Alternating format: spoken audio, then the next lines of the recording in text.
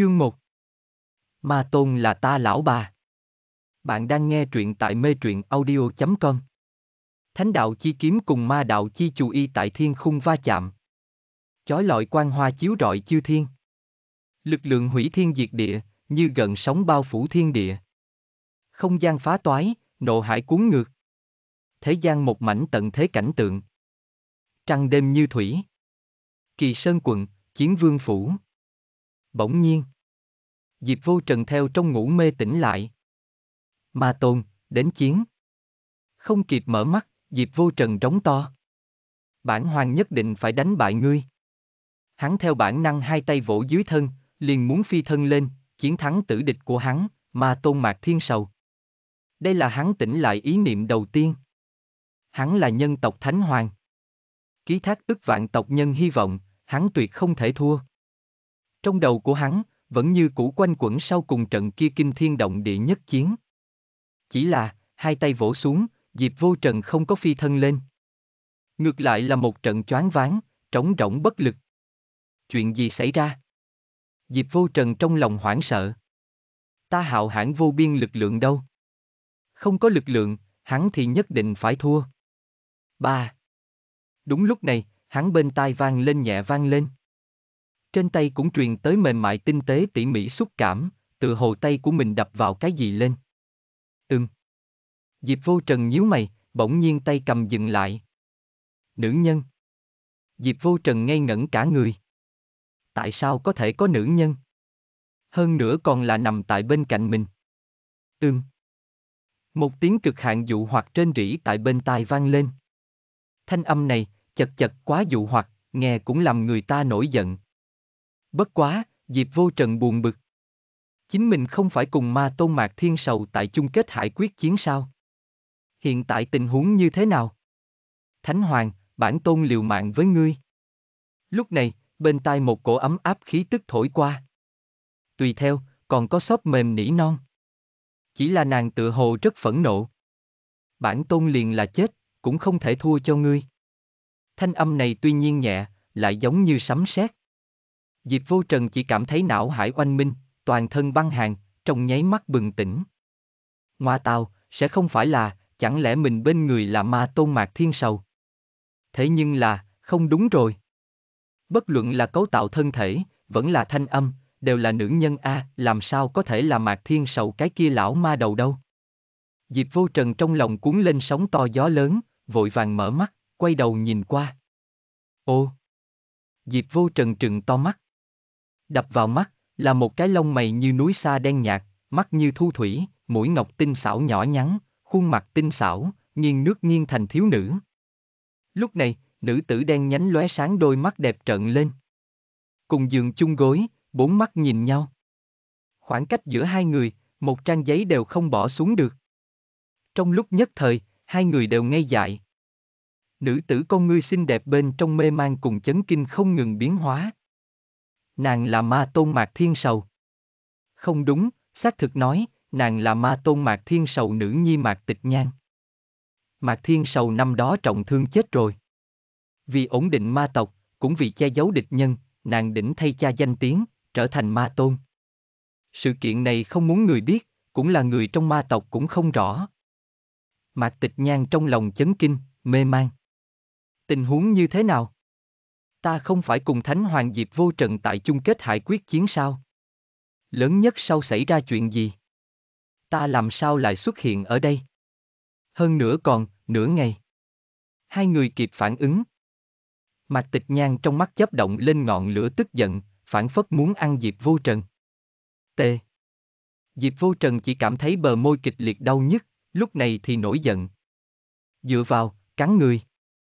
Kinh hoảng mạc tịch nhan, càng là chân ngọc đá ra.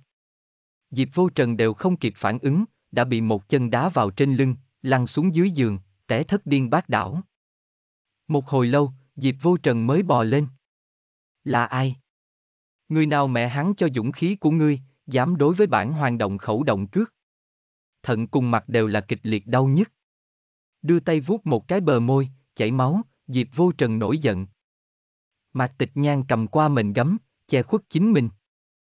Nàng xem thấy Diệp Vô Trần tức giận bộ dáng, Mạc Tịch Nhan càng giận, Hỗn đảng, lưu manh. Cái này cái kia chết đồ háo sắc, thế mà còn một mặt phẫn nộ, giống như bị thiệt lớn một dạng. Cái này khiến tịch nhan tức thiếu chút nữa ngất đi. Ngươi là ai? Trăm miệng một lời, hai người gầm thét. Diệp vô trần sững sờ. À, thanh âm này, không phải vừa mới cái kia tự xưng bản tôn người sao? Mạc tịch nhan cũng là sững sờ, nghĩ tới điều gì? Trong nháy mắt, hai người bốn mắt đối lập, chỉ đối phương.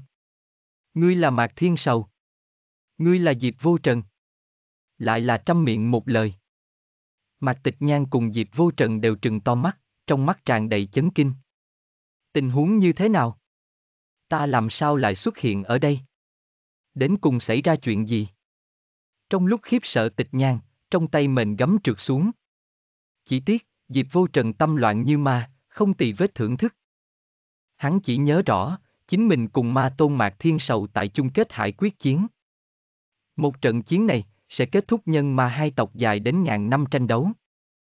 Một trận chiến này, liên quan đến hai tộc sinh tử tồn vong. Cho nên, bọn họ đều không lưu thủ, sự xuất suốt đời lực lượng mạnh nhất, đánh long trời lỡ đất, nộ hải bốc lên. Chỉ là, kết cục sau cùng như thế nào? Vì cái gì chính mình cùng ma tôn mạc thiên sầu sẽ xuất hiện ở đây? Nơi này lại là địa phương nào?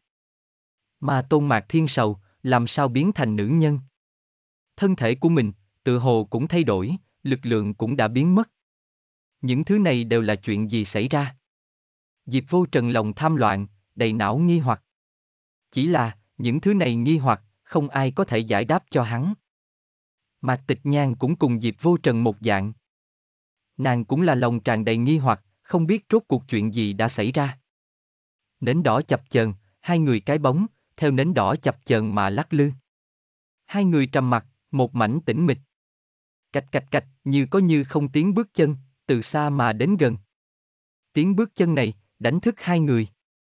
Mạc Tịch Nhan một lần nữa bắt lấy mình gấm che chắn, khuôn mặt đỏ bừng, đôi mắt đẹp nhìn hầm hầm Diệp Vô Trần. Diệp Vô Trần liếc mắt, khinh thường biểu môi. Cản cái gì cản, cũng không phải chưa có xem. Đương nhiên, chủ yếu nhất là nhìn lấy mặt tịch nhan nổi giận dáng vẻ, Diệp Vô Trần cảm giác rất buồn nôn. Ngươi cái lão ma đầu, thật coi mình là nữ nhân. Còn thẹn thùng, buồn nôn không? Bất quá, vừa nghĩ tới lão ma đầu biến thành nữ nhân, Diệp Vô Trần kém chút cười ra tiếng. Hắn cười tủm tỉm nhìn lấy mặt tịch nhan, đầy mắt cười trên nỗi đau của người khác. Tuy nhiên Diệp Vô Trần không nói, nhưng là thông qua Diệp Vô Trần biểu lộ, mặt tịch nhan cũng biết hỗn đảng này đang suy nghĩ gì. Trong mắt của nàng lấp lóe, căm tức trừng lấy Diệp Vô Trần, tức giận nói. Hỗn đảng, con nhìn, chuyển đi qua. Thôi đi, ai mà thêm. Nhếch miệng, Diệp Vô Trần cầm qua y phục của mình. Màu đỏ, tự hồ là hỷ phục. Diệp Vô Trần không quan tâm những chuyện đó, cảnh ban đêm lạnh lùng, vẫn là mặc xong quần áo miễn cho cảm lạnh. Ngay tại hai người mặc quần áo thời điểm, tiếng bước chân đã rất gần. Cùng lúc đó, còn có xì xào bàn tán truyền đến. Lúc này, dược hiệu cũng đã phát tác. Đoán chừng vương thượng phu phụ đã chết. Chật chật, dâm nhạc quá độ mà chết, cái này chết pháp, thật làm cho người hâm mộ. Nhị gia cao minh, đem loại kia kỳ dược thả tại bọn họ rượu dao bôi bên trong, đến lúc đó liền xem như có người tra, cũng tưởng rằng người trẻ tuổi mới nếm thử trái cấm, không biết tiết chế mà chết. Một khi vương thượng chết rồi, tiểu vương tử thì không đáng để lo. Đáng tiếc, nhị gia đã định trước lấy giỏ trúc mà múc nước công giả tràng, muốn tiện nghi mình đại gia. Mau tìm vương tỷ, giao cho đại gia. Cái gì? Ma tôn là ta lão bà. Trong nháy mắt, Diệp vô trần tê cả da đầu, cả người đều xù lông. Nghe trọn bộ tại mê truyện audio.com, link trực tiếp ở phần mô tả.